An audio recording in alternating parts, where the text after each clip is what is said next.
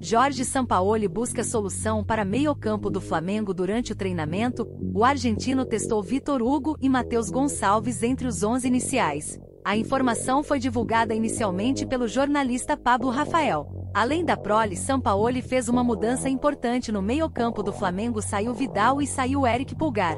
Diante disso, o camisa 5 formou a meiuca com Thiago Maia e Gerson. Vale ressaltar que Arturo foi um dos jogadores que mais receberam críticas da torcida rubro-negra após a partida contra o Nublense pela Libertadores.